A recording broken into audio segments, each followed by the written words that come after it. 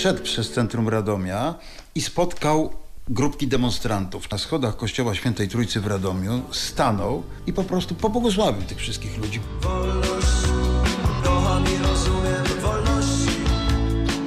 Ksiądz nie chciał być żadnym bohaterem. Chciał białe nazywać białym, czarne czarnym. Za swoją niepokorną służbę musiał zapłacić tak wysoką cenę. Cenę własnego życia. Był cały czas inny kapłan niż inni kapłani.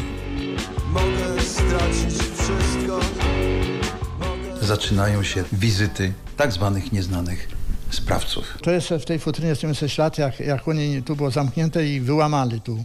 To oryginał tak tu został. Ksiądz mówi do mnie, opatrz Tomek, bomby lecą, spadają, patrz, w moje plecy trafiają. I tak mi tą sutannę zrzuca, pokazuje te plecy, które są podobne do tej sutanny, czarne.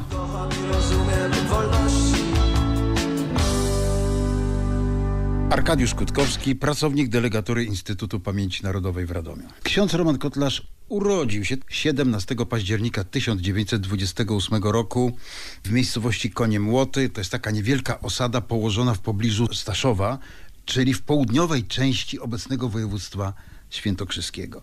Był jednym z sześciorga dzieci Szczepana i Walerii z domu Czerwiec. To była taka typowa polska chłopska rodzina, z tym, że z pewnymi ambicjami, które wykraczały poza takie typowe wiejskie opłotki. No, ojciec księdza był znanym społecznikiem, był działaczem miejscowego ruchu ludowego, tej jego części, która była związana z sanacją. Szefował miejscowej ochotniczej straży pożarnej. No i dał się też poznać jako ktoś, kogo dzisiaj nazwalibyśmy animatorem lokalnego życia kulturalnego. Organizował amatorskie przedstawienia teatralne na przykład.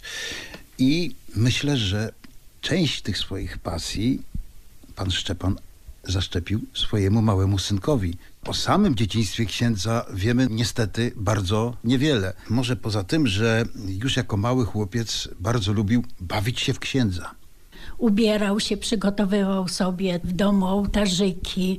Barbara Uśmiał, parafianka, parafia Konie Młoty.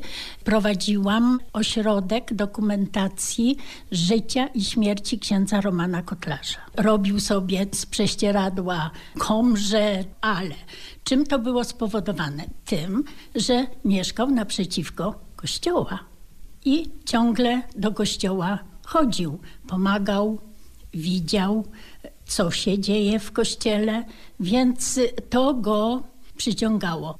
Uczniem nie był wybitnym. Na jego świadectwach szkolnych trudno znaleźć takie oceny jak piątki czy czwórki, no ale równocześnie już wtedy, jako mały chłopiec, pokazywał, że jest bardzo utalentowany plastycznie. On naprawdę świetnie rysował.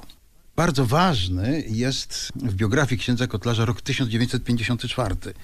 On wtedy uzyskuje święcenie kapłańskie z rąk biskupa sandomierskiego Jana Kantego Lorka, no, co jest spełnieniem tych jego marzeń dziecięcych. No a zarazem, no właśnie wtedy zaczyna być świadom, jak trudne wyzwania czekają go w państwie rządzonym przez polskich komunistów. Dowodem chociażby ciągłe przenoszenie go z jednej parafii na drugą z Szydłowca, gdzie rozpoczynał swoją posługę kapłańską do Żarnowa, z Żarnowa do Koprzywnicy, z Koprzywnicy do kolejnych miejscowości Kunowa, Nowej Słupi, Mirca, no i w końcu do Pelagowa. Powodem niemal zawsze były jego płomienne kazania, w których upominał się o prawa ludzi wierzących. Ja się nazywam Lorenz Aleksandra, mieszkam w Krakowie, moja mama Helena i ksiądz Roman to byli rodzeństwo. Kazania to tak mówił i miał tak donośny głos, to że fruwał po prostu. Tak, że ludzie płakali, bo takich tych słów używał patriotycznych tak, i był za ludźmi. Cały czas walczył o tą sprawiedliwość, że to, co się należy, to trzeba, żeby to człowiek otrzymał. Sama słyszałam kazanie, które wygłaszał w Koniemłotach, jak ja już tu przyszłam.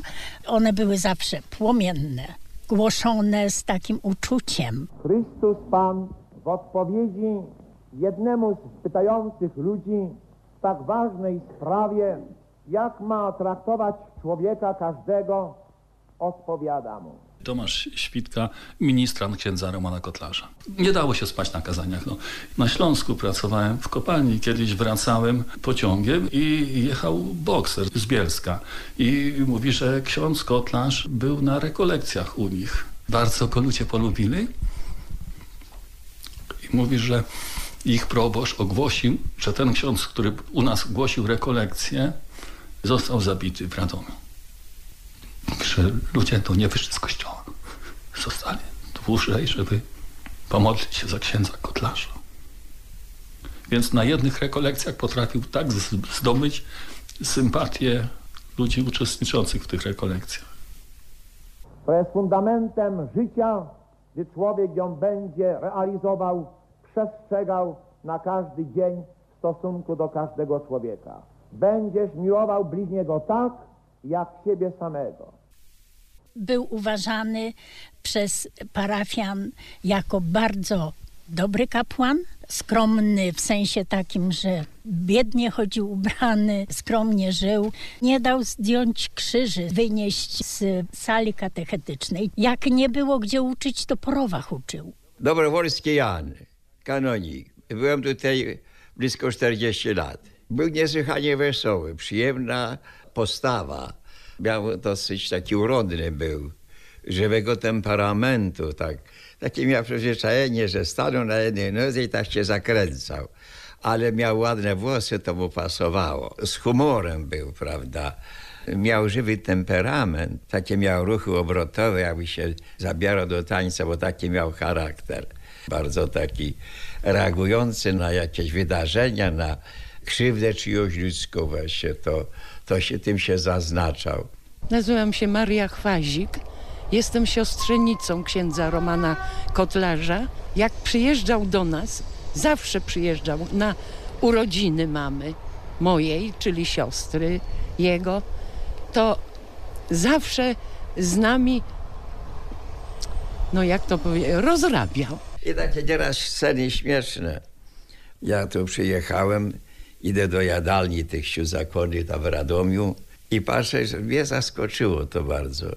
Siostra wychodzi, niesie widelce, bo sprzątał jak to po jakichś posiłkach, tam było dużo księży. A ten do niej biegnie, klęka przed nią, całuje w rękę. Siostruniu, siostruniu, właśnie, to był ten ksiądz. Dla mnie to podziałało, że do tej pory zapamiętałem. On właśnie miał tę spontaniczność. No. Poszedł na pierwszą parafię do Szydłowca. Przyszedł w 1954 roku i był dwa lata. W Szydłowcu ciągle ksiądz był wzywany na rozmowy i przyszła decyzja, że on ma być przeniesiony. Jerzy Bąk, Szydłowiec. Jestem presem Towarzystwa Patriotycznego imienia księdza Romana Kotlarza w Szydłowcu. Prowadzimy taką księga pamiątkowa księdza Romana Kotlarza, założona w 2006 roku w Szydłowcu. To jest takie bardzo... To jest życiorys księdza Romana Kotlarza. Napisany jego Przez ręką? tak. Na jednej z tych fotografii jest mój brat, którego przygotowywał do pierwszej komunii świętej ksiądz Roman Kotlarz. Ksiądz uśmiechnięty na tych zdjęciach. O tu. Ksiądz był bardzo pogodny, bawił się z dziećmi, grał z nimi w takie gry, jak na przykład Dwa Ognie przed szkołą. Młodzież się garnęła do księdza. Wskazywał też ludziom, jak mają żyć, jak w tych trudnych czasach komunizmu mają postępować, jak się zachowywać.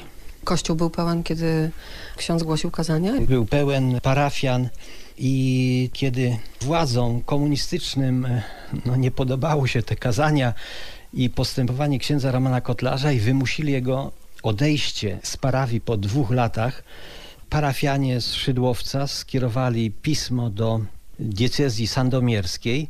No tu powinno być... O, jest, w oświadczeniach jest. Szydłowiec, sierpień 1956 56. roku. o pozostawienie księdza Romana Kotlarza w Szydłowcu, ponieważ w swoim piśmie stwierdzili, że jest czysty jak kryształ i wniósł tutaj wielkie zasługi dla parafian. Pismo to podpisało ponad tysiąc osób, co jak na ówczesne czasy to było niemal wszyscy dorośli parafianie Szydłowca. A to, że uczył po rowach, to na przykład uczył w Koprzywnicy, tak? I uczył w Mircu. Jak był wikariuszem w Mircu, mieszkał na plebanii, która była naprzeciwko kościoła. I w Mircu był dom dziecka. Dzieci z domu dziecka nie chodziły na religię, ale ten dom dziecka był naprzeciwko plebanii, więc dzieci zrobiły sobie dziurę w płocie i przechodziły do księdza. I ksiądz, jak uczył te dzieci ze szkoły, to i dzieci słuchały też z domu dziecka. Nigdy nie były u pierwszej komunii. I ksiądz przez te nauki takie przygotowywał te dzieci do pierwszej komunii. W domu dziecka była kucharka, bardzo przyjazna tym dzieciom. Ona wiedziała, że one tam e, chodzą. I jednego roku do komunii przystąpiło jedno dziecko i kucharka pokryjomu upiekła tort z tej okazji. Ktoś tam dał sukienkę, bo to była dziewczynka i ona przyjęła tą pierwszą komunię. Ale tego tortu już nie zjadła, ponieważ pani kierowniczka tego domu dziecka ten tort zarekwirowała. W Mircu był lat trzy, bo poszedł w 59 roku, a w 61 odszedł. W Mircu było to samo. Żył bardzo skromnie. Pokoik tylko miał półkę z książkami, zresztą wszędzie tak tylko. Był bardzo przyjazny dla ludzi, tak jak w każdej parafii, do dzieci. Też robił różne jasełka, wycieczki i tak dalej. Także był cały czas inny kapłan niż inni kapłani. Jak dostał wiadomość, że ma się przenieść, trzymał to w tajemnicy, o której kiedy tam się będzie przeprowadzał. W nocy, późnym tam wieczorem, to już było ciemno. Cały mieszec wyprowadził go aż do Tychowa, na drogę do Starachowic. Tłum ludzi, procesja wielka, a on jechał na wozie z książkami i z dywanem, który kupili mu na odejście. A ludzie szli za nim, śpiewali, płakali, rzucali mu kwiaty. W Koprzywnicy na przykład ksiądz Kotlarz bardzo radykalnie sprzeciwił się planom rugowania lekcji religii ze szkół. Publicznie w czasie jednego z kazań powiedział, tu pozwolę sobie na cytat, zginął Herod strawiony za życia przez robactwo, zginął Hitler, biada każdemu, kto z Bogiem wojuje. No po takich słowach reakcja mogła być jedna. Prezydium Wojewódzkiej Rady Narodowej naciska na przełożonego księdza Romana Kotlarza, czyli biskupa sandomierskiego i ten rzeczywiście zabiera go z Koprzywnicy, przenosi do innej parafii. I to pomimo, że w obronie księdza staje kilkaset osób, mieszkańców Koprzywnicy, którzy piszą listy protestacyjne, no niestety bez żadnego skutku. Z tych moich słów może wynikać, że ówczesna działalność księdza Kotlarza sprowadzała się w zasadzie do takich nieustannych konfliktów z władzami. Ale oczywiście to jest nieprawda, to jest nieporozumienie i to bardzo grube nieporozumienie, bo ksiądz i w Szydłowcu, i w Koprzywnicy, i później w kolejnych parafiach no, był nie tylko szermierzem wolności religijnej, wolności słowa, ale równocześnie kapłanem, którego w zasadzie wszędzie zapamiętano jako tak zwanego dziwaka Bożego. Osobę, która zupełnie lekceważy ten materialny wymiar ludzkiego życia, która jest takim wręcz życiowym abnegatem. Pochodzi w znoszonej sutannie, w rozlatujących się butach. Naprawdę miał sutannę na dole taką poszarpaną. Dziadek mówi, wiesz co, Romek, no wreszcie by, bym ci coś chciał. Mówi, tato, Pan Bóg mnie takiego kocha i ja nic, mnie nic, nic w życiu nie potrzeba. Nic mi nie... W końcu było tak, że dziadek zamówił w Radomiu, kupił materiał i mówi, słuchaj, ja ci muszę uszyć sutannę, bo, bo nie, niemożliwe, żebyś tak chodził w takiej sutannie starej, po już potarganej. No i, i już nie doczekał tej sutanny. I już później tylko dziadek pojechał właśnie do krawca i prosił, żeby, żeby tą sutannę mu skończył. No i także właściwie to sutanna była na pogrzeb. Ale równocześnie nie zdarza się, by odmówił komukolwiek, kto znajdował się w tak zwanej życiowej potrzebie. No zresztą jego posługa w szpitalu w Krychnowicach, lata 70. Nie ma czegoś takiego, jak to dzisiaj jest, że są kapłani, którzy po prostu przychodzą codziennie i wspomagają wiernych. Nie, wtedy nic takiego nie było. A on przychodzi, bierze ten swój rowerek, Lato, zima, śnieg, upał. Jedzie tym rowerem kilka kilometrów, wchodzi, nie pytając się o zgodę do szpitala i pomaga ludziom. Jak się dowiedział, że ktoś tam chory, jakaś niewiasta, jakiś mężczyzna, już tam do niego trafiał i z tymi chorymi miał łatwy kontakt. Z babcią czy z dziadziusiem łatwo rozmawiał. Nieraz jak się nie spotykałem, to opowiadał, o do tej babci byłem, u tego starszego pana, a jadę do szpitala, bo tam ktoś umierający. Ludzie nazywali go księdzem pogotowiem. Wszędzie, gdzie była potrzeba, to on był jako pierwszy. On pierwszy składał ludziom życzenia imieninowe, najbardziej jak było Jana i Janiny. Chodził od domu do domu i składał wszystkim życzenia. Jak y, pracował ktoś na dachu, bo gdzieś tam był, wchodził po drabinie i składał mu życzenia. Jeżeli ktoś potrzebował jakiejkolwiek pomocy, zachorował, ksiądz był pierwszy. Coś mu się tam nie powiodło, był pierwszy. Pijaków zbierał po rowie, zaprowadzał do domu albo na plebanie brał do siebie, tłumaczył. I w Pelagowie to prawie, że pijaństwa nie było. Te inne relacje, no można oczywiście zadać sobie pytanie, czy nie kreują takiego troszkę lukrowanego i przesłodzonego wizerunku księdza Romana Kotlarza, takiego wizerunku, który sugeruje, że no, on był postacią właściwie bez skazy, pozbawioną wad. Oczywiście nie. No, ksiądz miał swoje słabostki. Nie radził sobie na przykład z powierzonym mu gospodarstwem rolnym w Pelagowie, do którego trafił w 1961 roku, żeby zastąpić miejscowego chorego proboszcza, księdza Skowrona. Nie najlepiej układały mu się także bardzo często kontakty z innymi księżmi, zwłaszcza księżmi tak zwanej starej daty. On natchniony i młody był, ich nie policzyłby nikt. On im dodawał pieśnią sił, śpiewał, że blisko już świt. Świec tysiące palili mu, z nad głów podnosił się dym. Śpiewał, że czas by runął mur. Wysoki Sejmie. 24 czerwca 1976 roku. Z wystąpienia premiera Piotra Jaroszewicza, zapowiadającego wprowadzenie podwyżek cen żywności. O potrzebie podjęcia decyzji w sprawach struktury cen mówiliśmy na siódmym zjeździe oraz na forum Wysokiego Sejmu przy okazji rozpatrywania planu na rok 76 i w niedawnym ekspoze rządowym. Nadszedł czas, kiedy decyzje te stały się konieczne. Jest 24 czerwca. Ksiądz przychodzi i my nawet nie wiedzieliśmy, że została ogłoszona podwyżka żywności. I to taka drastyczna podwyżka. Ja tylko słucham, ale tak mówi właśnie do mojego wujka, do mojego taty, do mojej mamy. Takie słowa powiedział wtedy, może Wybrzeże, może Warszawa, może Śląsk tą podwyżkę wytrzyma, ale biedny Radom tego nie wytrzyma.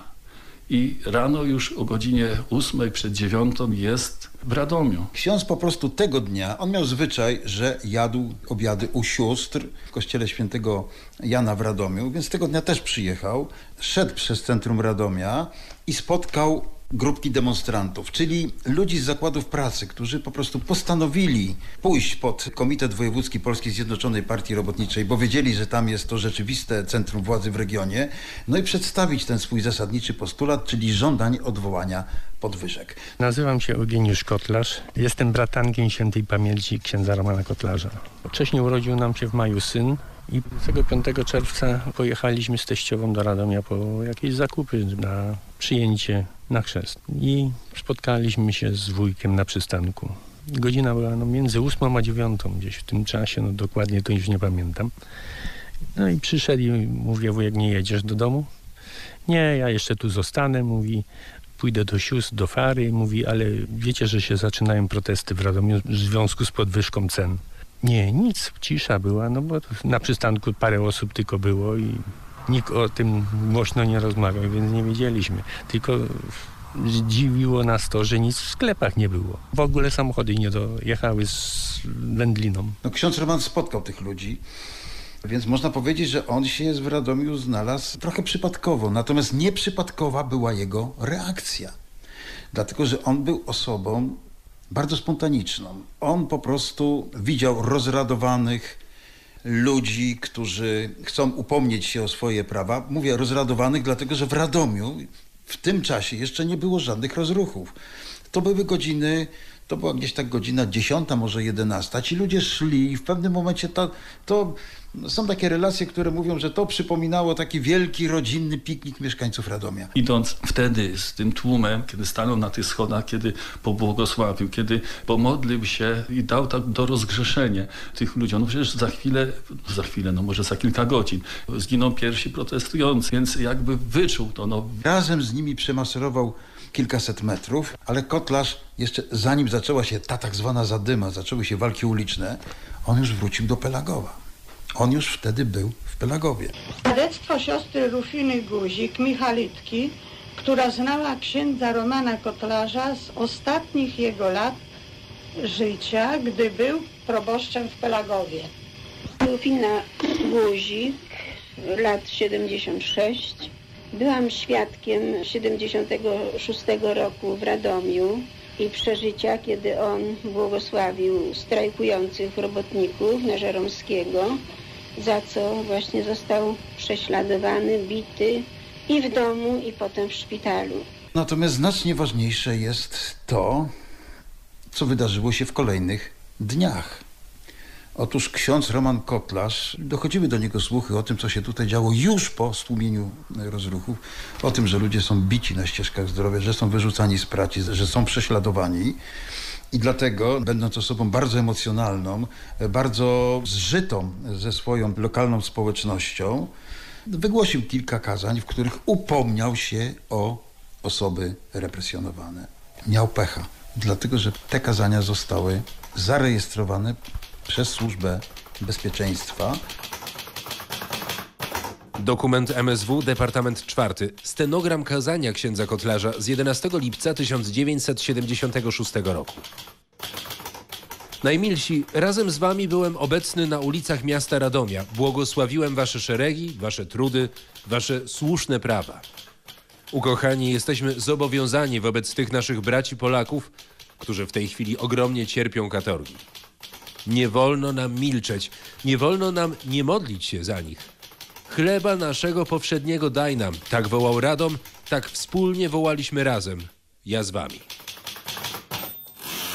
On mówi, a ty, mówi, stoisz pod chórem oparty o, o słup i nagrywasz mnie. A co takiego mówię? Przecież mówię prawdę. Jak kazania wszystkie od okresu 25 czerwca aż do śmierci, to każdą niedzielę kazanie było nagrywane przez jakiegoś nieznanego człowieka, który nagrał kazanie i odchodził. Nawet sam wujek w jednym kazaniu powiedział, no już jak nagrałeś, już możesz iść. Bo ludzi znał swoich parafianów, a widział, że jest ktoś obcy i wiedział, że go nagrywają. I co więcej, prowadząc badania naukowe nad tym, co się właśnie wtedy działo, ksiądz Szczepan Kowalik, czyli ksiądz, który jest współautorem tej y, książki, którą razem napisaliśmy, odkrył, że treść tych kazań, stenogram z treścią tych kazań została przesłana do centrali MSW w Warszawie do między innymi wiadomości szefa tej samodzielnej grupy D.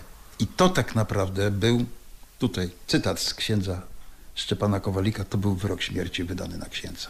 Po czerwcu został wezwany na tak zwaną rozmowę ostrzegawczą ze specjalnie przybyłym z Warszawy zastępcą prokuratora generalnego PRL, który ostrzegł go, że te kazania, które wygłasza, są tak naprawdę czynami przestępczymi i że może za to ponieść odpowiedzialność karną. Przyznał się do mnie, że miał areszt taki dwutygodniowy, co musiał się codziennie stawiać do prokuratury. W szczegóły nie wchodził. Tylko był na przesłuchanie co oni ode mnie chcą? Co ja takiego złego robię? Zachowała się notatka obszerna tego zastępcy prokuratora generalnego doktora Młynarczyka, jeżeli pamiętam. No i właśnie ta notatka też została wysłana przez SB w Radomiu do Warszawy, do centrali i prawdopodobnie też trafiła do tej samodzielnej grupy D. To zbiegło się w czasie z najściami tych tak zwanych nieznanych sprawców. A później, ponieważ on wiedział, co tu się dzieje, no nie chciał zbyt wiele osób wtajemniczać po to, żeby ich już z kolei nie narażać na jakieś represje aparatu bezpieczeństwa. Szczególnie po niedzieli to zawsze był wzywany na dywanik do Radomia i po takim dywaniku wpadał do nas Norwańską. No, przeżywałam, jego widok y, no, był okropny. Blady jak serwetka, jak papierek. Nie mógł usiąść. Ja nieraz no, aż łzy człowiekowi w oczach stawały, patrząc na niego jak on bardzo cierpi. Nie mógł usiąść, a kiedy go zachęcałam, by spoczął, bo, jest, bo się przewrócił, był tak blady, więc on mówi, siostro, nie mogę, nie mogę. On nie mógł usiąść, był tak zbity na tych ścieżkach z droga w Radomiu, WB. Nazywam się Jolanta Garczewska. Jestem siostrzenicą wujka księdza Kotlarza. W lipcu, jak był 6 lipca na weselu u siostrzenicy, bo wszystkim siostrzenicom dawał śluby. Ja byłam następna, która no niestety nie doczekałam, żeby mi dawał ślub. To wtedy 6 lipca też przyjechali za nim czarnym takim samochodem. Stali tak koło kościoła i każdy się zastanawiała, kto to jest tym samochodem czarnym. Żaden z gości, ani z jednej strony, ani z drugiej. A oni przyjechali, bo jeździli tak za nim i go pilnowali. Tu jesteśmy na terenie który należał do parafii Pelagów w 1976 roku. W pobliżu biegną tory kolejowe relacji Radom-Skarżysko-Kraków.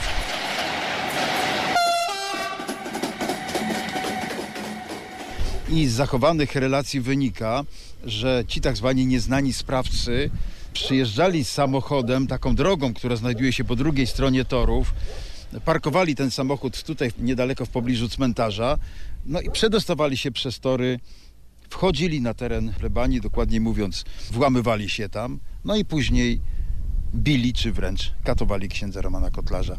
Oczywiście śladu w postaci jakichś notatek służbowych czy jakichś sprawozdań w dokumentacji dawnego Ministerstwa Spraw Wewnętrznych czy dawnej Służby Bezpieczeństwa nie ma. Przyszłem z rana tutaj do wujka. To było w każdym razie przed 15 sierpnia. Patrzę, że drzwi te jedne otwarte, drugie jakieś powyłamywane. Bardzo mnie to zaskoczyło, no bo nigdy tak nie było. Zawsze były zamykane. No patrzę, wujek leży na takim łóżku polowym i jęczy. Zobaczył mnie, przyszłeś mnie bić. Taki wystraszony, podniósł tylko głowę, bo nie mógł się podnieść. Ja mówię, wujek, nie poznajesz mnie? Ucich. Za moment znowu to samo. To się powtórzyło kilkakrotnie, aż później dopiero się doszedł chyba do siebie, no i zaczęliśmy rozmawiać. Mówi, że przyjechali w nocy, mówi, trzech, pobili i rzucili mnie, mówi, na podłogę.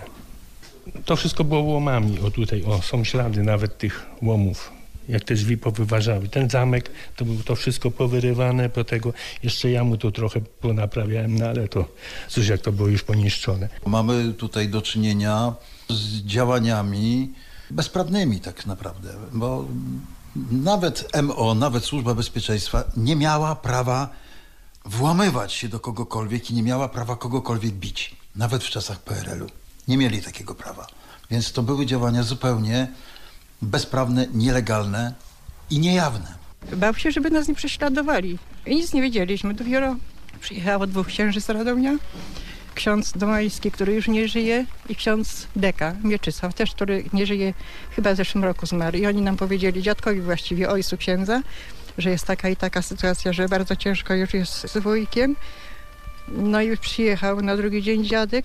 Nie, nie chciał się przyznać, nic kompletnie, nie nic się nie dzieje. Jedź, mówi, tato, już o tej godzinie masz pociąg, już wracaj tego natychmiast, bo też się bał, że znów, żeby nie spotkali go tutaj no ci bandyci, żeby mu też coś nie zrobili. No. Także no, nie chciał się przyznać w ogóle do niczego. Przychodzę do służenia i to już jest, myślę, że może te dwa tygodnie przed śmiercią księdza. Jest zachrystia, tu gdzie ksiądz się przygotowuje do mszy świętej. No i ksiądz staje w progu i mówi do mnie, opatrz Tomek, bomby lecą, spadają, patrz, w moje plecy trafiają. I tak mi tą sutannę zrzuca, pokazuje te plecy, które są podobne do tej sutanny, czarne.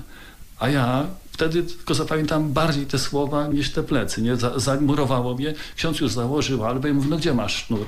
A ja jeszcze stałem. No podałem, ksiądz przywiązał. Przyszedłem do domu, powiedziałem o tym tacie rodzicom, bo tata się przyjaźnił z księdzem.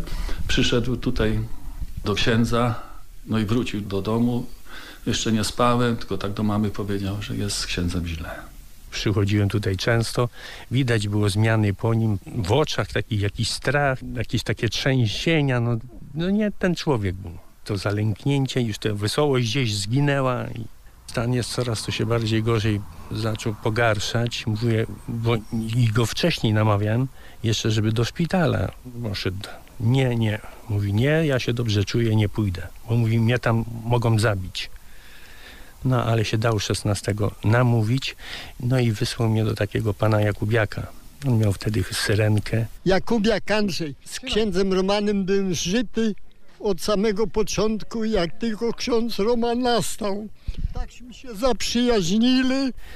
Podjechał, no i odjechali. Następnego dnia przyszedłem do niego, to nie mogliśmy porozmawiać, bo już był w jakiejś takiej agonii, jakiejś tak, że no nic nie tego. No i na, na drugi dzień wybrałem się również, ale już w połowie drogi szli dwie kobiety, które mówią, że no ksiądz już nie żyje. Nie zdążyłem.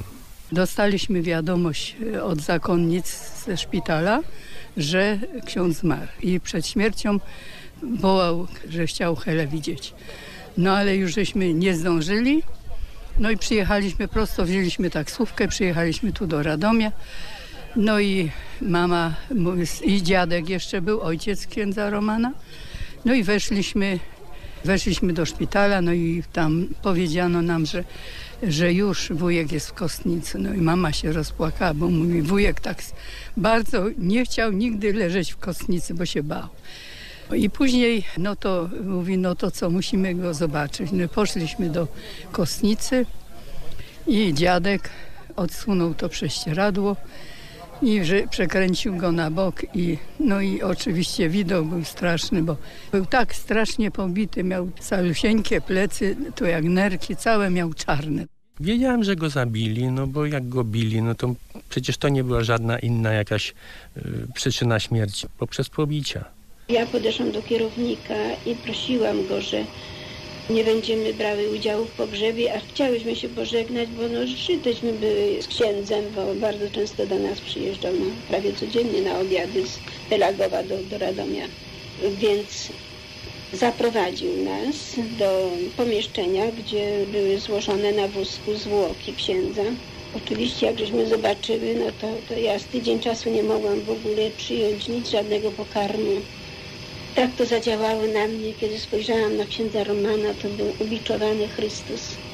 Był tak zbity od ramienia do kostek, do stóp nóg. To była jedna tęcza kolorowa. To jest podstawowy dokument, protokół sekcyjny. Ksiądz odprawia 15 sierpnia 1976 roku. Ksiądz już wtedy pobity, już wtedy schorowany, już wtedy nie do końca kontrolujący swoich emocji, odprawia mszę świętą. W trakcie tej mszy osuwa się na ziemię ze słowami Matko ratuj, traci przytomność. Nazajutrz zostaje zabrany do szpitala w Krychnowicach i dwa dni później umiera.